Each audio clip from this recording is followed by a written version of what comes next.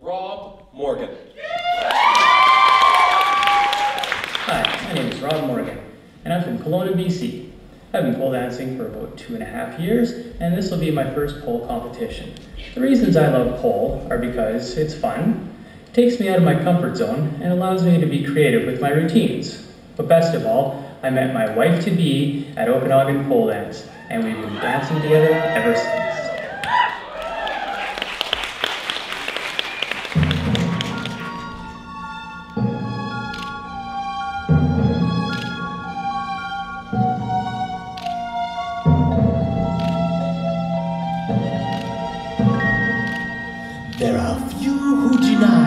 What I do, I am the best. For my talents are renowned far and wide. When it comes to surprises in the moonlit night, I excel without ever even trying. With the slightest little effort of my ghost-like I have seen grown men give out a shriek.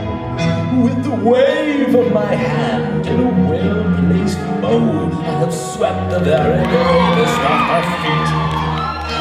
Yet year after year, it's the same routine, and I grow so weary of the sound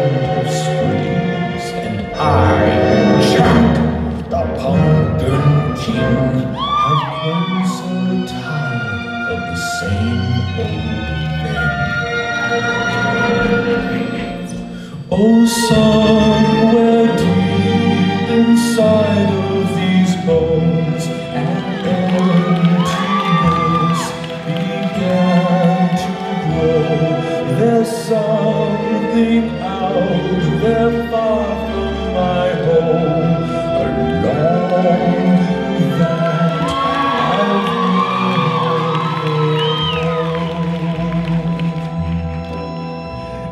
master fright, and a demon light, and I'll scare you right out of your pants. To a guy in Kentucky, I'm Mr. Unlucky, and I'm known throughout England and France. And since I am dead, I can take off my head to recite Shakespearean quotations. No animal scream like I can. With the fury of my recitations. But who here would ever understand that the pumpkin king with the skeleton grin would tire of his crown? If they only understood he'd give it all up if he only Oh,